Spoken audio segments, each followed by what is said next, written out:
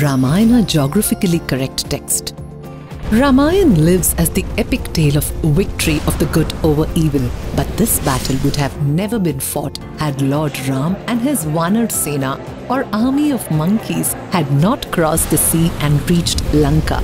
Every site on Rama's route is still identifiable, has continuing traditions, and still retains memories of his visit in the form of temples and legends. We find a convergence of literature, geography, archaeology, and local tradition in this trail of geographical sites which are popular and revered today as the sites where the events of Ramayana had unfolded. Rama, after winning over Ravana in the battle and rescuing Sita, flew back to Ayodhya in the Pushpaka Vimana.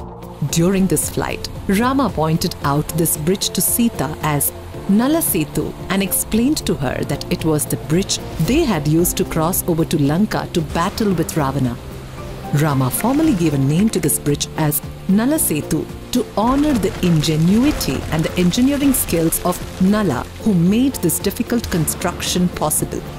Later, the people, due to their adoration for Rama, called this bridge as Rama Setu. Further later, people started calling it as Setu Banda, meaning that which joins two hands.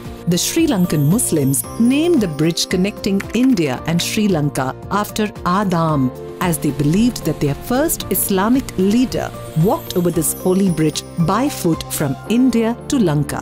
When the Europeans conquered Sri Lanka, it popularly came to be called Adam's Bridge by the Europeans too.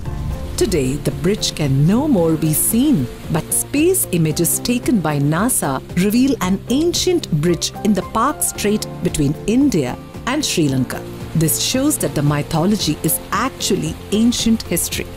The home of knowledge, wisdom, and philosophy for thousands of years. This is amazing India.